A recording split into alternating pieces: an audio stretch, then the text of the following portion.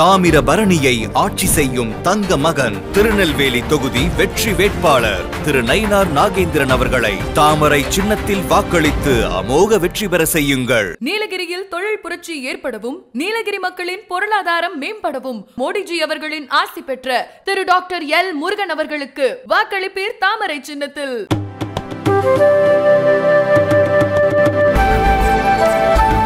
அருணாச்சல் பிரதேசத்தில் இருப்பவர்கள் சீனாவுக்கு வர பாஸ்போர்ட் தேவையில்லை என தெரிவிக்கப்பட்டுள்ளதால் அருணாச்சல் பிரதேசம் சென்று அங்கிருந்து சீனாவுக்கு சென்று விடலாம் என்று நினைக்கிறேன் என நாம் தமிழர் கட்சியின் தலைமை ஒருங்கிணைப்பாளர் சீமான் பேசினார். ஆரணி மக்களவை தொகுதியின் நாம் தமிழர் கட்சி வேட்பாளர் மருத்துவர் பாக்கியலட்சுமியை ஆதரித்து சீமான் பிரச்சாரம் மேற்கொண்டார். அவர் பேசுகையில் தேசிய நெடுஞ்சாலைகளில் சுங்கச்சாவடி அமைத்து வரி வசூல் செய்து வருகின்றனர். வாகனங்கள் வாங்கும்போது வரி வசூலிக்கப்படுகிறது.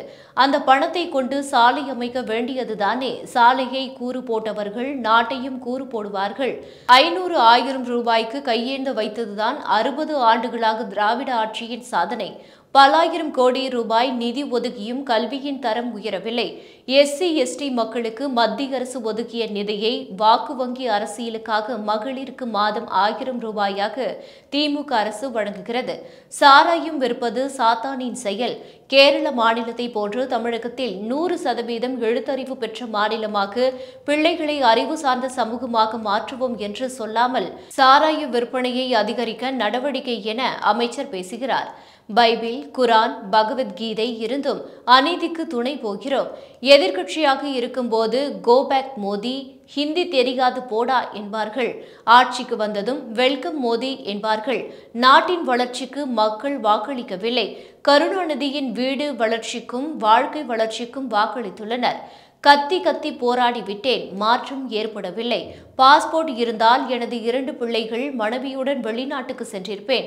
அருணாச்சல் பிரதேசத்தை சீன ஆக்கிரமித்து சீன மொழியில் பெயர் வைத்துவிட்டது. அருணாச்சல் பிரதேசத்தில் இருப்பவர்கள் சீனாவுக்கு வர பாஸ்போர்ட் தேவையில்லை என தெரிவிக்கப்பட்டுள்ளது.